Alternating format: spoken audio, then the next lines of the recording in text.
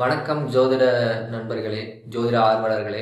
இன்னைக்கு நம்ம எதை பற்றி பார்க்க போகிறோம்னு கேட்டிங்கன்னா அதிர்ஷ்ட விஞ்ஞானம் அப்படிங்கிற புத்தகத்தை பற்றி தான் பார்க்க போகிறோம் ஜோதிடத்தை நான் படிக்க ஆரம்பித்த புதுசில் வந்து பார்த்திங்கன்னா முத முதல்ல படித்தது எல்லாமே வந்து பார்த்திங்கன்னா ஒரு பத்து பொருத்தம். ஒரு பொண்ணு மாப்பிள்ளை ஜாதகம் இருக்குன்னா அவங்க ரெண்டு பேத்துக்கும் பத்து பொருத்தம் பார்க்கக்கூடிய மாதிரி புத்தகங்களை தான் படிக்க ஆரம்பித்தேன் அப்புறம் நிறைய புத்தகங்கள்லாம் இருந்தது. அந்த டைமில் எனக்கு இருந்த நாலேஜுக்கு அது அட்வான்ஸாக இருந்துச்சு. ஒன்றும் பெருசாக புரியல. பல புத்தகங்களில் வந்து இருக்கிற ஜோதிட பலன்கள் வந்து பொருந்தியும் போகலை. அப்போ எனக்கு ரொம்ப குழப்பமாக இருந்தது. இதே மாதிரியே எனக்கு கிட்டத்தட்ட ஒரு ஆறு மாதம் ஒரு வருஷம் பக்கம் போயிடுச்சு அப்போது எதாச்சியாக வந்து இப்போது பொள்ளாச்சியில் வந்து முதல்ல ஒரு ஸ்டால் இருந்துச்சு. புக் ஸ்டால் இப்போ இல்லை அது ஆக்சுவலாக பஸ் ஸ்டாப்பில் இருந்துச்சு. ஸோ அங்கே நான் புத்தகத்தை தேடிக்கிட்டு இருக்கும்போது டக்குன்னு இந்த புக்கு அங்கே தான் இருக்குது ரொம்ப காலமாக இருக்குது நான் எத்தனையோ புக்குங்கெல்லாம் வாங்கியிருக்கேன். டக்குன்னு அந்த டைமில் இந்த புக்கு கிடைச்சிது. அதிர்ஷ்ட விஞ்ஞானம்னு சொல்லிட்டு. சரின்னு சொல்லி இந்த புக்கை நான் வாங்கிட்டு போய் வீட்டில் வச்சுட்டேன். எடுத்து யூஸும் பண்ணலை. அதுக்கப்புறம் வந்து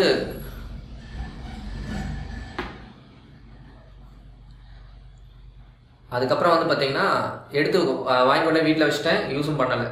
அதுக்கப்புறம் வந்து பார்த்தீங்கன்னா கொஞ்சம் காலம் கழிச்சு அப்படியே ஒவ்வொரு புக்கை எடுக்கும்போது இந்த புக் எடுத்து படிக்க ஆரம்பிக்கிறேன். படிக்க ஆரம்பிச்சதுக்கப்புறம் தான் என்னடா எத் எவ்வளோ பெரிய புக்கை வந்து நம்ம கவனிக்காமே வச்சிட்டோம். இத்தனை நாள் நம்ம கண்ணில் படாமே போயிடுச்சு. அப்படிங்கிற அளவுக்கு ஃபீலிங் ஆயிடுச்சு. ஏன் அப்படி சொல்கிறேன்னா எல்லா சகஜமான மனுஷங்களுக்கும் இருக்கக்கூடிய ஒரு பெரிய பிரச்சனை என்ன தெரியுங்களா? இன்னொருத்தங்களை பற்றி ஒன்றுமே தெரியாது. உண்மையை சொல்லப்போனால் அதுதான் உண்மை. அவங்க வந்து நம்ம பேரண்ட்ஸாக இருக்கட்டும் நம்ம ஃப்ரெண்ட்ஸாக இருக்கட்டும் ரிலேஷன்ஸாக இருக்கட்டும் நம்ம பிஸ்னஸ் பண்ணக்கூடிய ஆட்களாக இருக்கட்டும் இல்லை நமக்கு கீழே வேலை செய்கிறவங்களா இருக்கட்டும் கூட வேலை செய்கிறவங்களா இருக்கட்டும் ரோட்டில் பார்க்குறவங்களா இருக்கட்டும் யாராக இருந்தாலும் யாரை பற்றி இன்னொருத்தவங்களுக்கு ஒன்றுமே தெரியாது. இது என்ன ஆயிருதுன்னு கேட்டிங்கன்னா ஏமாத்துறவங்களுக்கு சுலபமாக போயிடுது கண்ணு முன்னாடி அவங்க வேற அதில் எக்ஸ்பர்ட்டாகவும் இருக்காங்க. கண்ணு முன்னாடி வருவாங்க சிரித்து சிரித்து பேசுவாங்க. நம்ம ஒருவேளை நல்ல ஒரு கேரக்டராக இருந்தோம்னா அவங்களும் நல்லவங்கன்னு நம்ப ஆரம்பிச்சிருவோம். அப்படி நம்புறதுனால என்ன பிரச்சனைன்னு கேட்டிங்கன்னா அவங்கள நம்பி கடன் ஏதாவது கேட்டாங்கன்னா அவசரத்துக்கு சின்ன அமௌண்ட்டுன்னு கேட்பாங்க பெரிய அமௌண்ட் கேட்பாங்க. தெரிஞ்சவங்கன்னு கொடுத்து ஏமாந்துருவோம். அவங்கள நம்பி ஒரு வேலைக்கு உள்ளே விடுவோம் ஆஃபீஸ்க்குள்ளே விடுவோம் ஏமாந்து போயிடுவோம் ஒரு பில்டிங் கட்டுவோம் இன்ஜினியர் ஏமாற்றிட்டு போயிடுவான் விற்கிற இடத்த விற்கிறவன் ஏமாற்றிட்டு போயிடுவான் வேலை செய்கிறவன் ஏமாற்றுவான் அப்போது இது எல்லாமே பிரச்சனை. அதே மாதிரி மற்றவங்களோட கம்யூனிகேட் பண்ணும்போது இன்னொரு பெரிய பிரச்சனை என்னன்னு கேட்டிங்கன்னா அவங்களுக்கு அந்நேரத்துக்கு என்ன பிடிக்கும்னு நமக்கு தெரியாது. அவங்க எந்த மாதிரி ஒரு கேரக்டர்னு தெரியாது. லவ்வும் ரொமான்ஸையும் பற்றி யோசிச்சுட்டு இருக்கிற ஒரு பொண்ணுக்கிட்ட நீங்கள் போய் இன்ஜினியரிங்கை பற்றி பேசிகிட்டு இருந்தீங்கன்னா ஏதாவது யூஸ் இருக்குமா? அதோட ஏஜ் அதோட டைமுக்கு அது யோசிச்சுட்டு இருக்கு அதே சில பேர் வந்து பார்த்தீங்கன்னா ஒரு ஒரு பையனை சொல்கிறேன் சில பேர் வந்து பார்த்தீங்கன்னா பிஸ்னஸ் பற்றி யோசிச்சுட்டு இருப்பாங்க. நீங்கள் அந்த பையன்கிட்ட போயிட்டு என்ஜாய்மெண்ட்டாக இருக்கிறத பற்றி படத்துக்கு போகலாம் அங்கே போய் சாப்பிட்லாம். இந்த ரெஸ்டாரண்ட்டுக்கு போகலாம் இங்கே டூர் போகலாமா இப்படி பேசிகிட்டு இருந்தீங்கன்னா அவனுக்கு அது பிடிக்காது. ஸோ இந்த மாதிரி ஒருத்தங்களுக்கு இன்னொருத்தங்களை பற்றி தெளிவாக புரியாததுனால ஒவ்வொரு டைமும் என்ன பிரச்சனை ஏற்படுதுன்னா மிஸ்கம்யூனிகேஷன் நடக்குது. சரிங்களா? அதை பற்றி இன்ட்ரெஸ்ட் இல்லாத ஒருத்தர்கிட்ட போய் பேசுறதுனால அவங்களுக்கு அது எரிச்சலாகுது. நம்ம நம்ம ஒரு மாதிரி ஒரு வேலையை செஞ்சுட்டு இருக்கோம் அதில் நம்ம ஒரு தாட்டில் இருக்கோம். அப்போ இன்னொருத்தங்க வந்து வேற விஷயத்த பேசும்போது அது நமக்கு இன்ட்ரெஸ்ட் இல்லை அப்படின்னா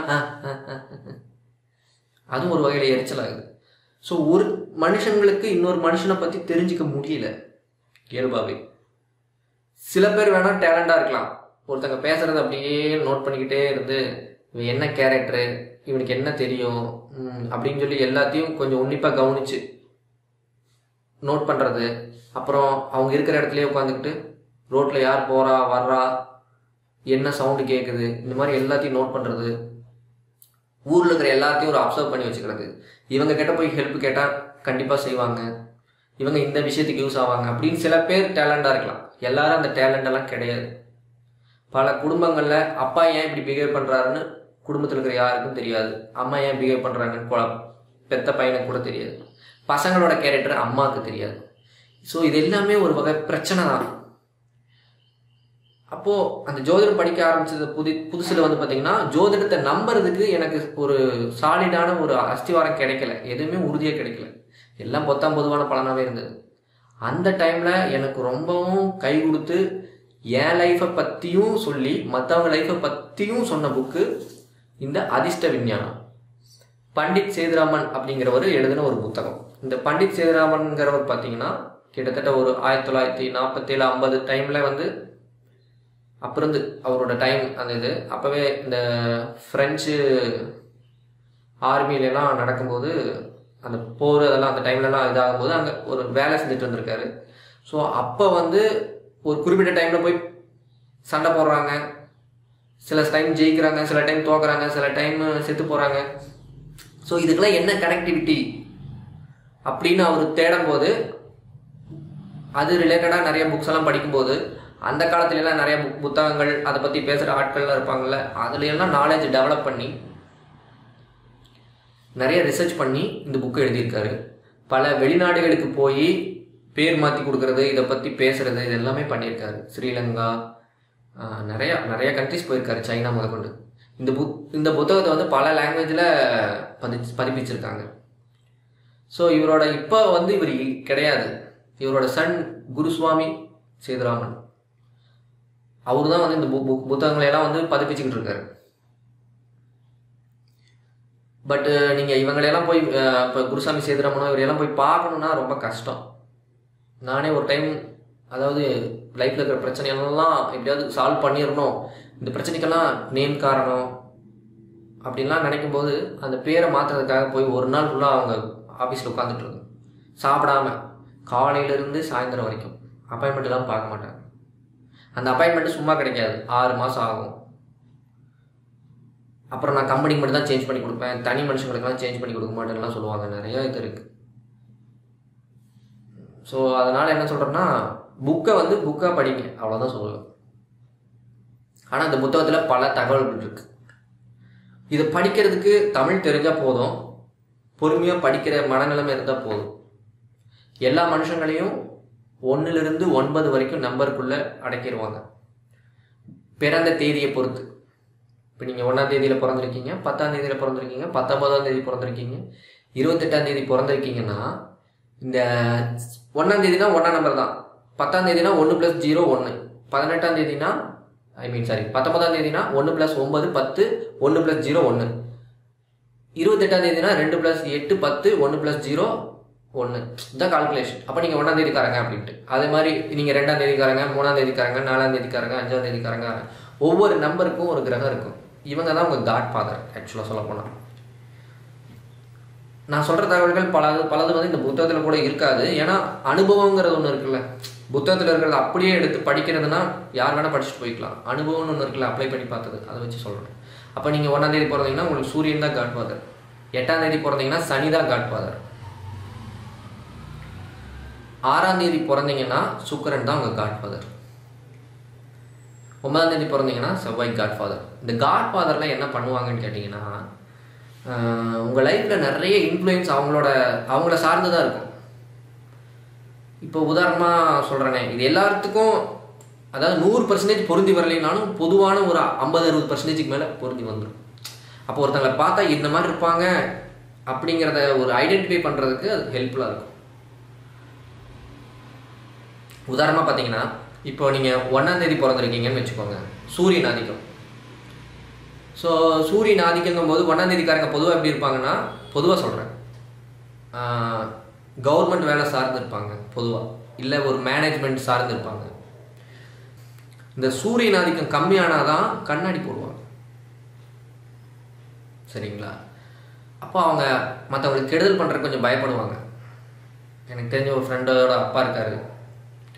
அவர் ஒன்றாம் தேதிக்காரர் தான். கவர்மெண்ட் வேலை நேர்மையாக இருக்கணும் அப்படிங்கிறது. ரிட்டையர் ஆகிட்டாரு ஸோ இந்த குணங்கள்லாம் வந்து நிறைய பொருந்தி வரும். இதே வந்து பார்த்தீங்கன்னா நீங்கள் ஆறாம் தேதிக்காரங்களை எடுத்துக்கோங்க. ஆறு பதினஞ்சு இருபத்தி நாலு இந்த தேதியெல்லாம் பிறந்தவங்க. மோஸ்ட்லி அழகாக இருப்பாங்க. பசங்களாக இருந்தாலும் பொண்ணுங்களாக இருந்தாலும் அழகாக இருப்பாங்க மோஸ்ட்லி அதுலேயும் நிறைய ரேர் கேஸ் இருக்குது நிறைய கேஸ் இருக்குது மோஸ்ட்லி அழகாக இருப்பாங்க. அதுக்கப்புறம் வந்து பார்த்தீங்கன்னா உங்களுக்கு லைஃப்பில் எல்லாமே மோஸ்ட்லி ஃபேவராக நடக்கும். நான் சொல்கிறது நூறு பர்சன்டேஜ் ஆட்களை கிடையாது பர்டிகுலர் ஒரு ஐம்பது அறுபது பர்சன்டேஜுக்கு மேலே சொல்கிறேன் லைஃப்பில் மோஸ்ட்லி எல்லாமே ஃபேவராக நடக்கும். அவங்களுக்கு பிடிச்ச வேலை நடக்கும். பிடிச்ச வேலை கிடைக்கும். பிடிச்ச ஒரு லைஃப் பார்ட்னர் கிடைப்பாங்க. லைஃப்பை டேஸ்ட்டாக அனுபவிப்பாங்க. ஸோ இந்த லைஃப்பை நம்ம டேஸ்ட்டாக அனுபவிக்கும் போது என்ன ஆகும் கேட்டிங்கன்னா மற்றவங்களுக்கு எதையும் பெருசாக கொடுக்க தோணாது. மற்றவங்கள்ட்ட இருந்து எடுக்க தான் தோணும். கொடுக்குறாங்களா? வா வாங்கி வச்சுக்கோ. நான்லாம் பெருசாக கொடுத்து அதாவது மற்றவங்க ஒரு நூறு பர்சன்டேஜ் கொடுத்துருப்பாங்கன்னா இவங்க கொடுத்ததெல்லாம் வந்து பார்த்தீங்கன்னா ஒரு இருபது முப்பது பர்சன்டேஜ் தான் இருக்கும். இதுலேயும் ரேர் கேஸ் இருக்கும். குடும்பத்துக்காக உழைச்சவங்களும் இருப்பாங்க. நான் எல்லாத்தையும் சொல்லலை. பொதுவாகவே சொல்கிறேன் சரிங்களா? அப்போ அவங்க என்னென்னா சுகபோகங்களை அனுபவிக்கணும்னு நினைப்பாங்க. நல்லா ட்ரெஸ் பண்ணிக்கிறது. அவங்க ட்ரெஸ் பண்ணால் அழகாக இருக்கும். அவங்க ஃபோட்டோ எடுத்தால் அழகாக இருக்கும். ஸோ அழகாக இருக்கிறனால அவங்கள சுற்றி எப்போவுமே ஒரு சேஃபான ஆட்கள் இருப்பாங்க. அவங்கள சுற்றி அவங்களுக்காக ஃபேவருக்கு இதுவே நீங்கள் எட்டாம் தேதி எடுத்துக்கோங்களேன். எட்டு பதினேழு இருபத்தாறு இந்த தேதியெல்லாம் பிறந்தவங்க பார்த்தீங்கன்னா மோஸ்ட்லி அடி வாங்குற லைஃப்பில் அடி வாங்குற ஆட்கள் அவங்க தான். கூட இருக்கிறவங்கெல்லாம் அவங்கள புரிஞ்சுக்க மாட்டாங்க. இவங்களாலேயும் நிறைய இடத்துல நிறைய பேர் புரிஞ்சுக்க முடியாது. லைஃப்பில் அடுத்தடுத்து ஏதாவது பிரச்சனைக்குரிய சம்பவங்கள் நடந்துக்கிட்டே இருக்கும். தடுத்தே நிறுத்த முடியாது. நான் நடக்கிற சம்பவம் ஆட்களை பொறுத்து மாறும். இவனுக்கு ஒரு சம்பவம்னா அவனுக்கு ஒரு பிரச்சனை. இவனுக்கு ஒரு இட பிரச்சனைனா இவனுக்கு ஒரு கல்யாணத்தில் பிரச்சனை. இவனுக்கு தொழிலில் ஃபுல்லாக பிரச்சனை. அப்படி ஆட்களை பொறுத்து மாறும். ஆனால் சம்பவங்கள் நடந்துக்கிட்டே இருக்கும். மோஸ்ட்லி யாரும் ஃப்ரெண்டே சேர மாட்டாங்க இந்த எட்டாம் தேதிக்காரங்களுக்கு யாருமே ஃப்ரெண்டு கிடைக்க மாட்டாங்க ஃப்ரெண்டு கிடச்சி கொஞ்சம் போயிட்டு இருந்தா ஒரு ஒன்றாம் தேதிக்காரங்க நாலாம் தேதிக்காரங்க இன்னொரு எட்டாம் தேதிக்காரங்க தான் ஓரளவுக்கு இவங்க மனசை புரிஞ்சுக்குவாங்க. மற்றவங்க குடும்பத்தில் பெத்த தாயாக இருந்தாலும் தந்தையாக இருந்தாலும் சகோதரனாக இருந்தாலும் புரிஞ்சுக்க மாட்டாங்க. சகோதரியாக இருந்தாலும் புரிஞ்சுக்க மாட்டாங்க. இது வந்து ஒரு அறுபது பர்சன்டேஜுக்கு மேலே போட்டுக்கோங்க. லைஃப் ஃபுல்லாக பிரச்சனை பிரச்சனை பிரச்சனை பிரச்சனை எட்டாம் தேதிக்காரங்க. லைஃப் ஃபுல்லாக நிறைய சுகத்தை அனுபவிக்கிறது ஆறாம் தேதிக்காரங்க. புரிஞ்சுதா உங்களுக்கு? ஏன்னா இந்த கான்செப்ட் எப்படி நம்பணுமா நம்ப வேணாமாங்கிறதுக்கு ஒரு அடையாளம். இதுவே ஒன்பதாம் தேதிக்காரங்களை எடுத்துட்டிங்கன்னு வச்சுக்கோங்க. ஒன்பது பதினெட்டு இருபத்தேழு இந்த தேதியில் பிறந்தவங்கலாம் வந்து பார்த்தீங்கன்னா ஒரு ரெண்டு மூணு வெரைட்டியாக இருக்காங்க. இதில் ஒரு டைப் ஆட்கள் பார்த்தீங்கன்னா முரட்டுத்தனமாக இருக்கிற ஆட்கள். ஜென்ஸை பொதுவாக சொல்கிறேன் முரட்டுத்தனமாக இருக்கிற ஆட்கள். எதுக்கெடுத்தாலும் கோவம். ரை ரைன்னு அப்பனும் தோன்றது. யாரை பார்த்தாலும் டென்ஷன் ஆகிறது. யோசிக்காமல் பண்ணிடுறது வண்டி எடுத்துகிட்டு இரு இருன்னு போகிறது அங்கே சுற்றணும் இங்கே சுற்றணும்னு நினைக்கிறது. இந்த மாதிரி ஒன்பதாம் தேதி காரங்களோட கேரக்டர். ஒரு ஒரு டைப்பு இன்னொரு டைப் ஆட்கள் பார்த்தீங்கன்னா புத்திசாலி ரொம்ப புத்திசாலி. ஒவ்வொருத்தங்களையும் நோட் பண்ணிக்கிட்டே இருக்கிறது. எங்கே யார் என்ன பேசுகிறாங்க ரோட்டில் நடக்கும்போது யார் என்ன பண்ணிக்கிட்டு இருக்காங்க யார்கிட்ட என்ன போயிட்டு வந்துட்டு இருக்குது அத்தனையும் நோட் பண்ணுவாங்க. எல்லார்த்த பற்றியும் டான் தான் தெரிஞ்சு வச்சுக்குவாங்க. ஸோ அதை வச்சுக்கிட்டு என்ன பண்ணுவாங்கன்னா தனக்கு தேவையான விஷயங்களை யார் மூலமாக சாதிச்சுக்கலாம்? தான் ஒரு விஷயத்தில் இறங்குறோம் ஒருத்தங்களுக்கு ஒரு எதிரியாக வேலை செய்கிறோம் ஆப்போசிட்டாக வேலை செய்கிறோன்னா அவங்கள எப்படி கவுக்கிறது? இந்த மாதிரிலாம் யோசிப்பாங்க. ரொம்ப அதி புத்திசாலியாக இருப்பாங்க. ஸோ ஒரு முரட்டுத்தனமான பீஸும் அதில் தான் இருக்கும். ரொம்ப அதி புத்திசாலியும் அதில் தான் இருக்கும். ரெண்டு இல்லாமல் ஒரு நார்மலாக இருக்கிற ஆட்களும் இருப்பாங்க. ஸோ இது வந்து ஒன்பதாம் தேதிக்காரங்க செவ்வாய் ஆதிக்கம். ஸோ சுக்கரன் ஆதிக்கத்தில் இருக்கக்கூடிய ஆறாம் தேதிக்காரங்க எவ்வளோ சுகமாக இருக்காங்க? எட் சனியோட ஆதிக்கத்தில் இருக்கக்கூடிய எட்டாம் தேதிக்காரங்க எவ்வளோ கஷ்டப்படுறாங்க? லைஃப் ஃபுல்லாக எவ்வளோ உடம்பு நோய்களால் கஷ்டப்படுறாங்க குடும்ப பிரச்சனைகளால் கஷ்டப்படுறாங்க. செவ்வாயோட ஆதிக்கத்தில் இருக்கிற ஒன்பதாம் தேதிக்காரங்க செவ்வாயோட முரட்டுத்தனம் கோபம் ஆத்திரம் எல்லாத்தையும் எப்படி வெளிப்படுத்துகிறாங்க அதே அதில் புத்திசாலித்தனம் விவரம் எல்லாத்தையும் எப்படி இது பண்ணுறாங்க சூரியன் ஆதிக்கத்தில் இருக்கக்கூடிய ஒன்றாம் தேதிக்காரங்க எவ்வளோ தூரம் கொஞ்சம் பம்மிக்கிட்டே போகிறாங்க மேனேஜ்மெண்ட்டில் இருக்காங்க. இதெல்லாம் தான். இந்த விஷயங்களெல்லாம் நீங்கள் புரிஞ்சுக்கணுன்னா இந்த மாதிரி ஒரு புக்கை வந்து நீங்கள் கிட்டத்தட்ட ஒரு பத்து இருபது முப்பது நாற்பது ஐம்பது நான் கிட்டத்தட்ட நூறு தடவைக்கு மேலே படிச்சிருப்பேங்க. கணக்கு வழக்கே கிடையாது. ஏன்னா ஒவ்வொரு டைமும் நீங்கள் யாராவது ஒருத்தங்க லைஃப்பில் அப்ளை பண்ணி அப்ளை பண்ணி டெஸ்ட் பண்ணிக்கிட்டே இருக்கணும். படிச்சுக்கிட்டே இருக்கணும் பார்த்துக்கிட்டே இருக்கணும் படிச்சுக்கிட்டே இருக்கணும் பார்த்துக்கிட்டே இருக்கணும். நான் சொல்லக்கூடிய இன்னொரு அட்வைஸ் வந்து பார்த்தீங்கன்னா இந்த நியூமராலஜிங்கிற கான்செப்ட் என்ன சொல்லுதுன்னு கேட்டால் நீங்கள் ஒரு குழந்தை பிறக்கும் போதே நியூமராலஜி படி பேர் வச்சுருங்க. இல்லை உங்கள் லைஃப் ஃபுல்லாக பிரச்சனை ஆகுதுன்னா நியூமராலஜி படி பேர் வச்சு வச்சுருந்தீங்கன்னா நீங்கள் லைஃப் மாறிடும்னு சொல்லுது. ஆனால் உண்மையான கான்செப்ட் நான் கண்டுபிடிச்சது என்னன்னு கேட்டிங்கன்னா விதி யாரையும் விடாது. நீங்கள் பேர் மாற்றும் போது உங்களை அறியாமல் பேருக்குள்ள தவறுகளை உண்டாக்கி மறுபடியும் உங்களை பிரச்சனைக்குள்ளே தான் கொண்டு வரும். இப்போ நீங்கள் ஒரு குழந்தைக்கு என்னதான் நியூமராலஜி படி பேர் வை- வைக்க போகிறீங்கன்னா கூட அதுலேயும் நிறைய நிறைய தவறுகளை உண்டாயிரும். தவறுகள் எங்கிருந்து வரும்னு கேட்டிங்கன்னா ஒன்று இந்த புக்கெல்லாம் நீங்கள் மெனக்கெட்டு படித்து நீங்களே நியூமராலஜியில் கணக்கு போட்டாலும் இதை விட அட்வான்ஸ் கான்செப்ட் எல்லாம் நிறைய இருக்குது அதுக்குள்ளே அந்த கிரகம் உட்காந்துரும் உங்களை பாதிக்கக்கூடிய கிரகம் உட்காந்து அதோட வேலையை பார்த்துரும். இன்னொன்று புதன் வந்து ஜாதகத்தில் பலவீனமாக இருந்தால் நீச்சம் பகை வக்ரம் இந்த மாதிரிலாம் இருந்துச்சுன்னா நேச்சுரலாகவே மெயினாக நீச்சலாக இருந்துச்சுன்னா நேச்சுரலாகவே உங்கள் ஹேண்ட் ரைட்டிங்கே மோசமாக இருக்கும். நீங்கள் எழுதும் போதே ஹேண்ட் ரைட்டிங்லாம் தெளிவாக இருக்காது. அப்போது உங்களுக்கு மோஸ்ட்லி டாக்குமெண்ட்டில் எல்லாமே பிரச்சனையாக இருக்கும். உங்கள் பேர் எவன் எழுதினாலும் தப்பாக தான் எழுதுவான். கவர்மெண்ட் ஆஃபீஸில் நீங்கள் இங்கே நின்று ஒன்று சொல்லுவீங்க உங்கள் பேர் கோபால்னா கோபால்னு சொல்லிட்டு இருப்பீங்க. அவன் உங்கள் பேரை கோபாலகிருஷ்ணன் கோகுல்ராம் இந்த மாதிரி டைப் ஏதோ ஒன்று வார்த்தையாவது டைப் பண்ணி தப்பு பண்ணிடுவான். அந்த டாக்குமெண்ட்டை நீங்கள் திருத்த போராடிக்கிட்டு இருக்கணும். ஒரு வீடு வாங்கினா உங்கள் பேர் தப்பாயிரும். அதில் ஏதோ ஒரு நம்பர் தப்பாயிரும். லைஃப் ஃபுல்லாக உங்கள் ஒரு பேங்க்கில் ஒரு அக்கௌண்ட் ஓப்பன் பண்ணால் இமெயில் கூட தப்பாகும். Phone number தப்பாகும். ஒவ்வொன்றுக்கும் நீங்கள் பின்னாடியே அலைஞ்சிக்கிட்டே இருக்கணும். ஒரு ஜாதகத்தில் புதன் புதன் தான் நேமு சரிங்களா? இப்போ ஒரு ஜாதகத்தில் புதன் மோசமாக இருந்தால் இட பிரச்சனை எல்லாம் இருக்கும்.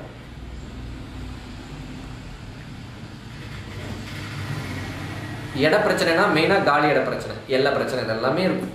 அப்போது இந்த மாதிரி ஒரு அமைப்பை வச்சுக்கிட்டு நீங்கள் என்னதான் நேமை சேஞ்ச் பண்ண முயற்சி பண்ணால் கூட அது அவ்வளோ சீக்கிரம் கை கொடுக்காது. அந்த நேமுங்கிறது ஒருத்தவங்களோட அடையாளம். ஆண் அவன் வந்து புண்ணியம் பண்ணியிருக்கான் போன ஜென்மங்கள் எல்லாம். அப்போது அவன் வந்து சுகத்தை அனுபவிக்கிறான். சுகத்தை அனுபவிக்கிறதுக்கு ஒரு அடையாளம். அந்த அடையாளத்தை இன்னொருத்தன் தூக்கி தானும் வச்சுக்கிட்டு நானும் சுகத்தை அனுபவிக்க போகிறேன்னு சொன்னால் அது எப்படி மேட்ச் ஆகும்?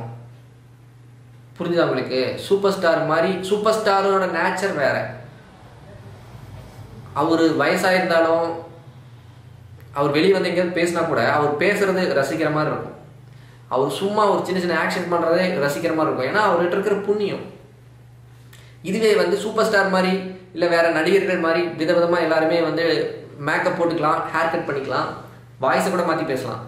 ஆனால் அந்த அளவுக்கு ர- ரசிக்கிற மாதிரி இருக்காது. அவர் சம்பாதிக்கிற சம்பாத்தியம் வேற இவங்க சம்பாதிக்கிற சம்பாத்தியம் வேற. அப்போ நீங்கள் ஜோதிடத்தை வச்சு நீங்கள் வந்து உங்கள் லைஃப்பை வந்துட்டு என்ன சொல்கிறது ஒரு பெட்டராக மாறுறதுக்காக நீங்கள் மாற்றிக்கணும் முயற்சி பண்ணிங்கன்னா கூட உங்கள்கிட்ட நீங்கள் பண்ண புண்ணியம் எதுவுமே பெருசாக இல்லைன்னா அது ஒன்றுமே இல்லை. சூப்பர் ஸ்டார் வேறு சூப்பர் ஸ்டார் மாதிரி நடிக்கிறவங்க வேறு.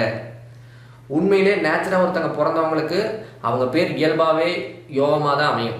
நியூமராலஜியில் சூப்பராக தான் அமையும். அது எந்த கேஸ்டில் பிறந்திருந்தாலும் சரி எந்த மதத்தில் பிறந்திருந்தாலும் சரி எந்த இனத்தில் பிறந்திருந்தாலும் சரி அவங்க பேர் நேச்சுரலாக நல்லாயிருக்கும் நீங்கள் போய் உங்கள் பேரை அப்படி மாற்றிக்கிறதுனால பெரிய பிரயோஜனங்கள் இல்லை. மேபி ஒரு மருந்து எடுத்துக்கிற மாதிரி சொல்லலாம். ஒரு பெரிய நோய் தாங்கவே முடியாது. ஒரு சின்ன மருந்து எடுத்துக்கிறோம். கொஞ்ச நாள் அந்த நோயோட தாக்கத்தை கட்டுப்படுத்துது. அவ்வளோதான் சொல்ல முடியும். மாத்துறதெல்லாம் கஷ்டம்தான். அப்புறம் ஏன் சார் இந்த புக்கை படிக்கணும் அப்படின்னு கேட்டால் ஒரு ஒரு மனுஷனை பற்றியும் இன்னொரு மனுஷன் தெரிஞ்சுக்க வேண்டியது பல நேரங்களில் அவசியமாக இருக்குது அதுவும் மோசமான இந்த கலியுகத்தில் காலகட்டத்தில் மோசமான மனிதர்களில் ஒவ்வொருத்தருக்குள்ளே இருக்கக்கூடிய வக்ரமான எண்ணங்களில் பேச்சுக்களில் நல்லவங்க யாரு கெட்டவங்க யாருன்னு பிரித்து பார்க்க முடியாத தன்மையில் நமக்கு ஏதோ ஒரு தேவை தேவைப்படுது. ஏதோ ஒரு சின்ன நாலேஜ் தேவைப்படுது. அட்லீஸ்ட் நம்ம மனசை சமாதானப்படுத்திக்கிறதுக்காக அது அது வேணும். கரெக்ட் தானே? ஏன் நமக்கு பிரச்சனை வருது? ஏன் நமக்கு கஷ்டம் வருதுன்னு நம்மளால் காரணம் தெரியாமல் ஓடிக்கிட்டு இருக்கிற காலத்தில் ஓ இதனால தான் கஷ்டம் வருது இதனால தான் தப்பு நடக்குது அப்படிங்கிற அந்த காரணத்தை புரிஞ்சுக்கலாம். இப்போ உங்கள் காதலியோ மனைவியோ மகனோ மனைவியோ இல்லை சொந்தக்காரங்களோ ஃப்ரெண்ட்ஸோ யாரோ ஒருத்தங்க நம்ம என்னதான் அன்பு செலுத்துகிறோம் ஆனால் அந்த அன்பை அவங்க புரிஞ்சிக்கவே மாட்டேங்கிறாங்களே. அவங்கள விட்டு விலகவும் முடியாது பட் அவங்ககிட்ட போய் நம்ம எல்லாத்தையும் சொல்லவும் முடியாது கேட்கவும் மாட்டாங்க. அப்போ அவங்க ஏன் அந்த குணாதிசயத்தில் இருக்காங்கங்கிறதுக்கு ஒரு காரணம் தெரிஞ்சுக்கலாம். அது ஒரு வகை மன அமைதியை கொடுக்கும். ஒவ்வொருத்தர்கிட்ட போய் போராட மாட்டோம் முதல்ல. இந்த போராட்டத்திலே வாழ்க்கையே முடிஞ்சிடும் ஒவ்வொருத்தருக்கும். அதே நீங்கள் போராடாமல் ஏன் விதி இதுதான்? அதுக்காக போராடக்கூடாதுன்னு சொல்லலை லைஃப்பில் உங்களுக்கு என்ன வேணுமோ அதுக்காக நீங்கள் ஒரு முயற்சி பண்ணியே ஆகணும் போய்த்தான் ஆகணும்.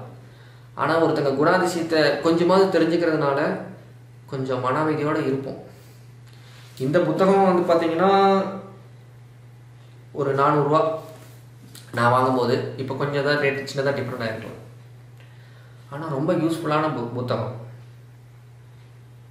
எந்த ஒரு விஷயமும் ஒரு உத்தமமான நிலையில் இருக்கிற விஷயம் எல்லாத்துக்கும் கிடைக்காது. அந்த யோகம் அது சம்மந்தப்பட்ட யோகம். இருக்கிறவங்களுக்கு தான் அது போய் சேரும். அதையும் அவங்க படிக்கணுமா? அதை அவங்க லைஃப்பில் ப்ராக்டிக்கலாக அப்ளை பண்ணணுமா? அதனால் மாற்றங்கள் வரணுமாங்கிறது அது அவங்கவுங்க புண்ணியத்தை பொறுத்து தான் அமையும். அந்த மாதிரி இந்த புத்தகம் கிடைச்சது என் லைஃப்பில் ஒரு புண்ணியம் தான் நினைக்கிறேன். இதனால என் லைஃப்பில் சமாதானம் கிடைச்சிது உண்மையிலே.